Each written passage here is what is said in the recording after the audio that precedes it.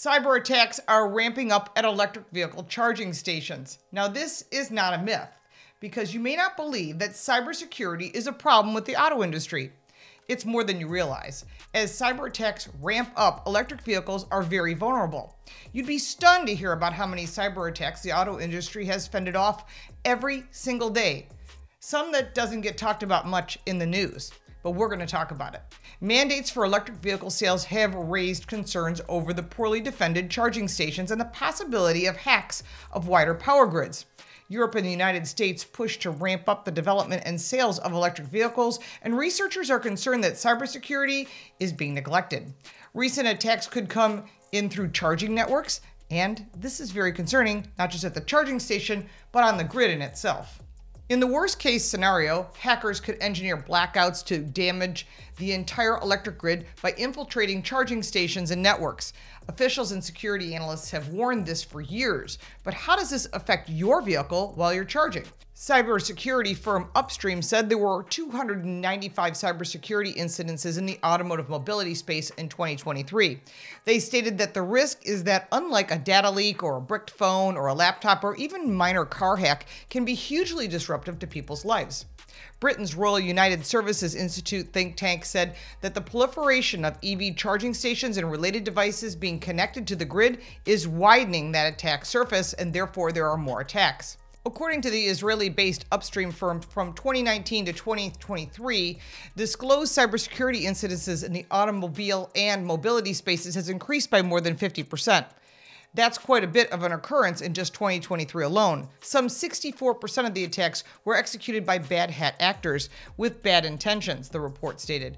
And 65% of the deep and dark web cyber activities last year had the potential of impact thousands and millions of mobility assets, and that means charging stations. Last week, we discussed the data collection and the connectivity of our vehicle. And as our cars have more software and computer processes, we open our vehicles up to more cyber hacking. For EVs, the connected car charging network is a target. In a dramatic example of that, in February 21st, the Telegraph newspaper reported that the Office of Product Safety and Standards in Britain told Wallbox, which is a brand of charger that we also have here in the US, that its internet connected copper SBEV home charger was not properly secured against hackers and couldn't be sold. Now, according to the newspaper, critics say they continued the sales of the charger, which risked letting hostile nations disrupt the UK's critical national infrastructure. Close to 40,000 of these chargers have been sold in Britain and at a cost of about $631. Reportedly, updated copper SBEV chargers can still be sold up to June 30th, but the company has stopped marketing the device.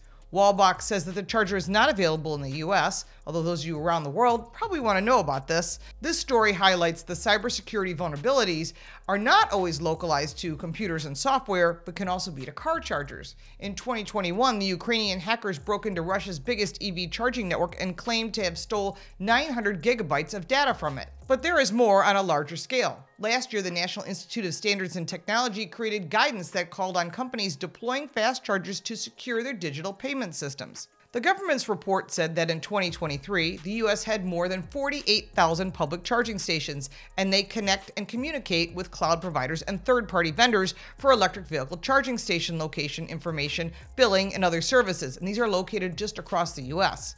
The big vulnerability in the utilities that provides the power is a big problem, and that interface between the electric vehicle and the charging station via cloud presents a potential attack surface for malicious actors to cause damage. Now, that's a vulnerability along with utilities across the entire country that provide power to us. And the interface between electric vehicles and the charging station via cloud presents a potential attack surface for malicious actors to cause damage. And the cyber attacks are not just theoretical. Each of these systems represents a set of interconnected attack vectors. EVs, for example, interface with the dealership with mobile phones, navigation, mapping, telemetry, entertainment, vehicle based web browsers, and other vehicle driver assistance systems such as safety features and over the air software updates, and a lot more. These and other warnings led automakers to band together. An attack on one of us is an attack on all of us, said the Automotive Information Sharing and Analyst Center.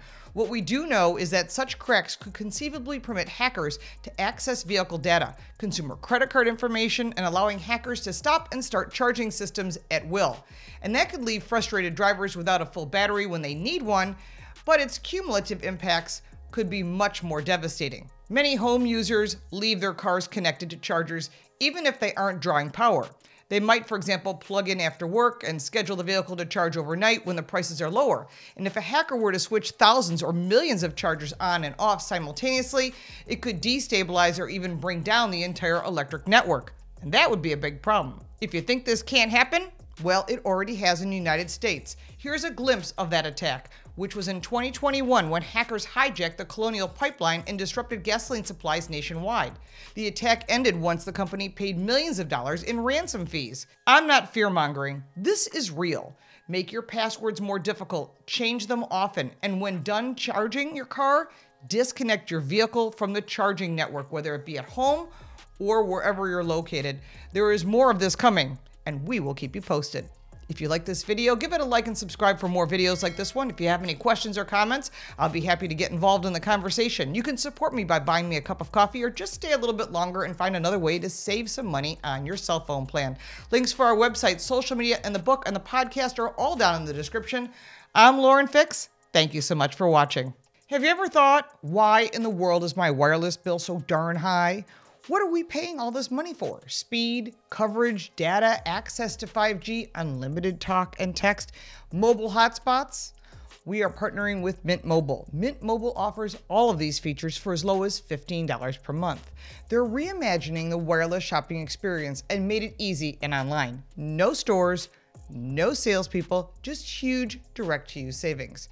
Why should you pay more when you have access to premium wireless? Mint Mobile runs on the nation's largest 5G network. Whether you use your phone to watch YouTube, listen to podcasts, or play games, you get the same speed and performance as the big guys while connecting to Mint's network. How hard is it to switch your service? Big Wireless wants you to think it's hard, but switching to Mint is super easy. Thanks to digital eSIM cards, which most phones now have, you can sign up and activate immediately right on your phone from the comfort of your home. And if your doesn't have an eSIM, Mint will ship you a new SIM card for free. Just go to trymintmobile.com slash laurenfix, also linked in the description down below, to get premium wireless for $15 a month.